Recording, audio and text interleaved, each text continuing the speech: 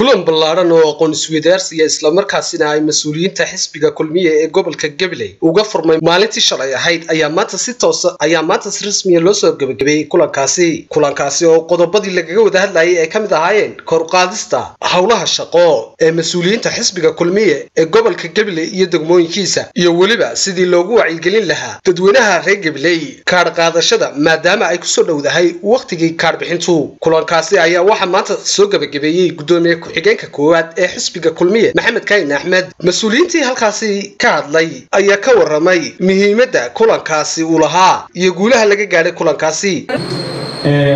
Dhammaan degmooyinku waxay muujiyeen dadaal iyo firfircoon inay u hayaan hawsha ay u xilsaanayeen waxaa noo sharaf ah in aad ugu soo casuuntaan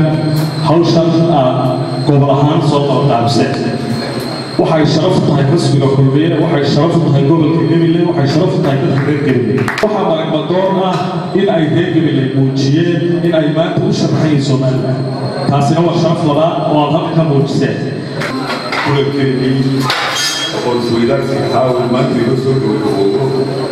wax badanna waynu ku faa'iidaysanay intayadii xaggaa ka tabiyeyntiina halka joogtaba waxaan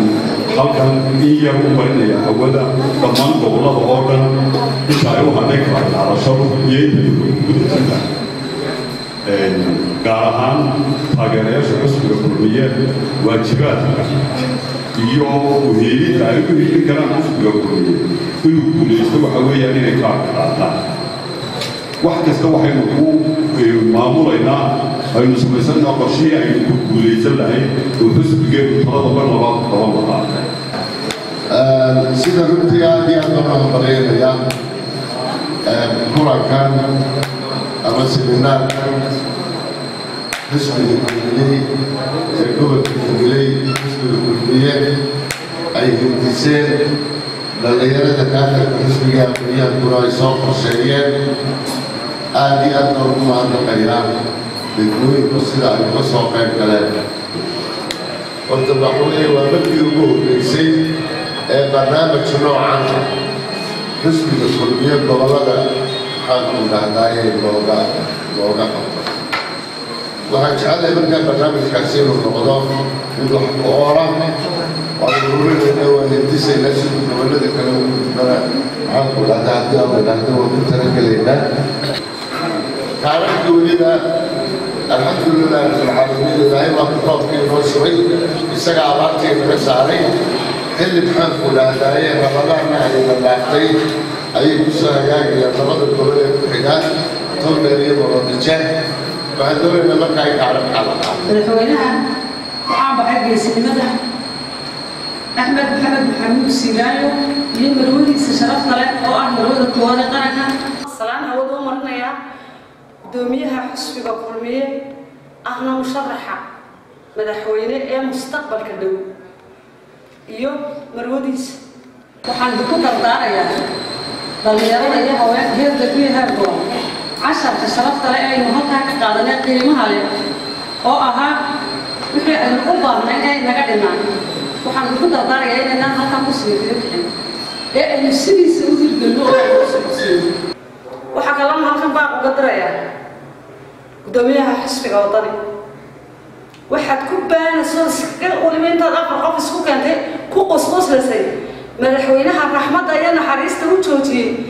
Fantasiyihii sideed iyo tobanka may waxaa tidhi roob baa daayay. Roobka dadku matigaaday cunayaan nin keliyo neefu hadhay ma jiro. Ninkii neefu hadhayna roobkii beriga ka daayay. Wuxuu ahaa roob barafa. Xoolihii oo itaal darano ku dhagaxyaalihii ku daayay. Way leedeen xoolihii. Guri cidluu dhex joogaa xalfadda maxaa loogu dul qaban waayay baad leedahay war dalka iyo dadka. Miyaanad dadka leedahayn baa ugu dirayaa inay kala saaraan muwaadinimada iyo macaaridnimada. Macaaridnimo waa macaaridnimo. Muwaadinimana waa mid hanu miduu nahay. Hadda waxaa u shaabadaynina cadowga somalilan anu waxaan u arkaa gaadhiga wadani wato buurigiisa dambe inuu cadow saaran yahay. Waa weli horta ilaahay baa doortay siireeyo halkaa fadhiisiiyey soo argartama ninka weligaana diinta islaamkaaba maadaamanu boqolkiiba boqol islaamnahay ina faraysa inaynu ka xishoono in laga hor yimaado maaho malaa'ig in laga hor yimaado waxaanu cambaaraynana cambaarta cirkiyo dhulka intay gashay abaar noqotay